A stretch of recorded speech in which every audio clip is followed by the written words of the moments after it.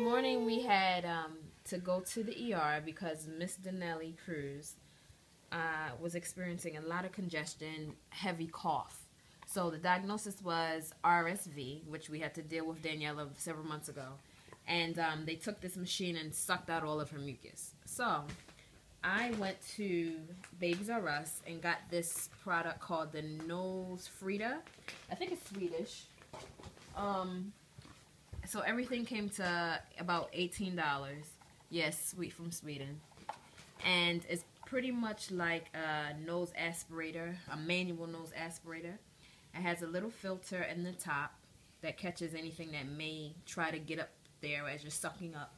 And um, you suck this, put this to your baby's nose. So let's see. I already put in um, the saline, so her mucus should be loose.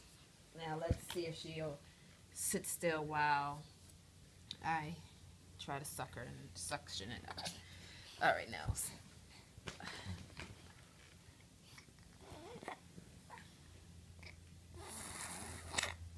Ooh. Yeah. Keep going. Need tissue. Where's your tissue, Danielle? Good girl, Denali. Denali's doing a Okay. good job. So that's that's pretty much it. It gets a lot out.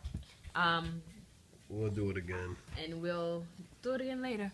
I mean, I'll do it. Deuces.